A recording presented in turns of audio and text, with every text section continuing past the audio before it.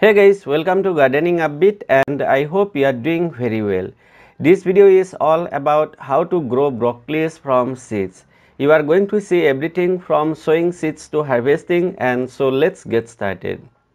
I got the seeds from Seeds and Pots and please note that I am not at all promoting any brand here. If you like you can collect the seeds from local store and those are going to be much cheaper. To sow the seeds, I am going to use a seedling tray. Instead of seedling tray, you can use any other pot where depth is minimum 2 inches. For the soil, taking 80% cocopeat and rest 20% vermicompost. Broccoli is a cool season vegetable and the ideal temperature for growing broccoli is between 18 to 22 degrees Celsius. Please sow the seeds according to the temperature in your place. In my place which is Assam, India, we can sow the seeds from October, November onwards. After sowing the seeds, please cover the seeds nicely and make sure that seeds are planted about 3 to 5 mm deep. Next, please water well and then keep the pot in a place where it's going to get 3 to 4 hours of morning sunlight.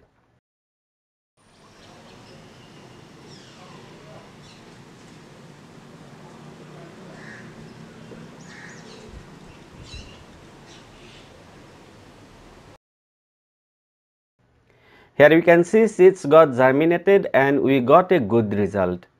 Today I am going to transplant them.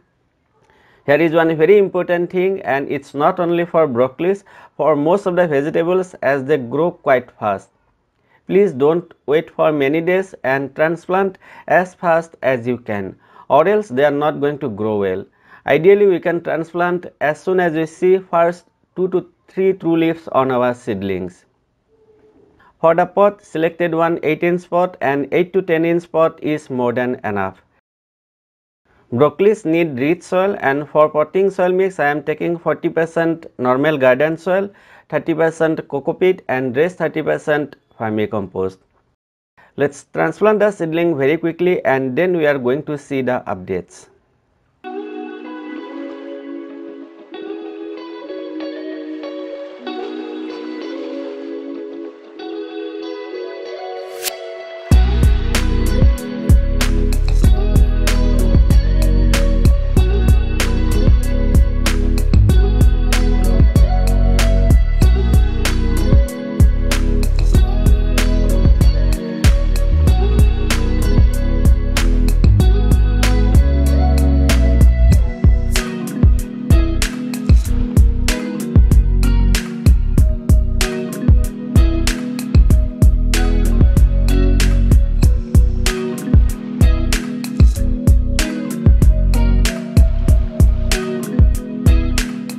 Can see that they are growing quite nicely.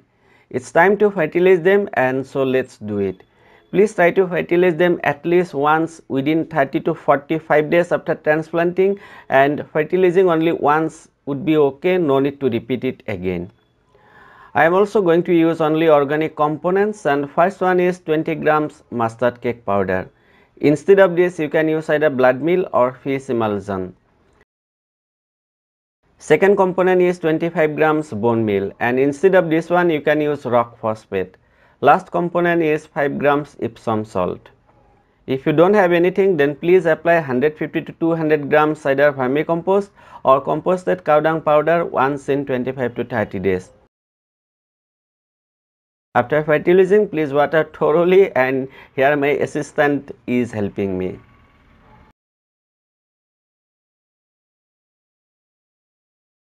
This is the best part and we are ready to harvest. You may be also wondering when to harvest. Well, broccoli is harvested before its flowers begin to bud and when the plant heads are still tight. From that side, I am actually a bit late to harvest as I can already see the buds. Again, please don't wait for too long or else buds are going to bloom. For example, here you can spot the bright yellow broccoli flowers. You can still harvest such broccolis. But I don't like the taste of such broccolis but many people find them to be quite tasty as well. Also please note that broccolis are going to bloom if temperature goes up and my place is not very ideal to grow broccolis. Anyway, it's a great feeling whenever we grow something from seeds and at the end of the day we can harvest something.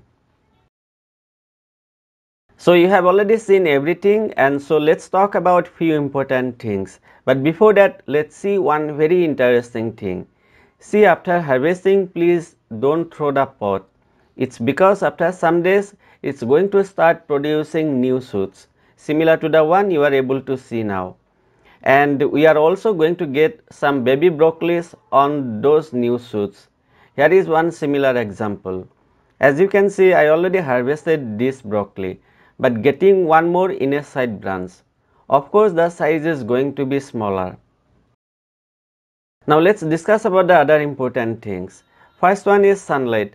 Please try to provide at least 5 to 6 hours of direct sunlight and in my case they got the full sunlight.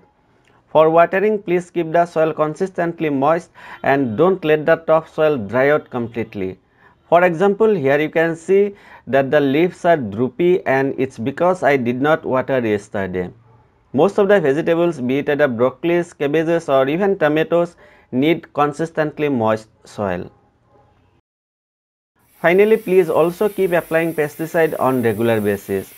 If you also grow cabbages, then there is a great chance that cabbage looper is going to attack your broccolis too. For example, here you can see one cabbage in extremely bad state. To protect your broccolis, you can use pesticide once in 7 to 10 days. I already have a video where I have talked about 5 different ways to get rid of mealybugs. Though the video is about mealybugs, the last 4 methods can be used to protect our plants from most of the pests and insects.